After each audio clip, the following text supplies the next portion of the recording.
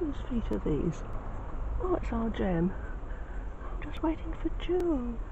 Where is Jewel then? Oh, she's somewhere around. She's exploring, I think. Well, I hope she doesn't get herself lost. Better go and find her. Oh, I will.